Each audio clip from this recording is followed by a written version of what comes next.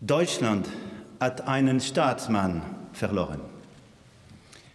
Europa hat eine Säule verloren. Frankreich hat einen Freund verloren. Wenn heute im Bundestag die Stimme eines Franzosen zu hören ist, dann ist das dank der Freundschaft dieses großen Deutschen.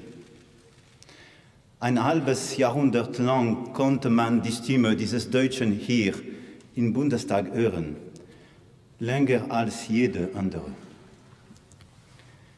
Mir wird damit eine große Ehre zuteil. Dieser Wunsch Wolfgang Schäubles, einen Franzosen im Bundestag sprechen zu lassen, sagt viel über sein Vertrauen in unsere beiden Länder.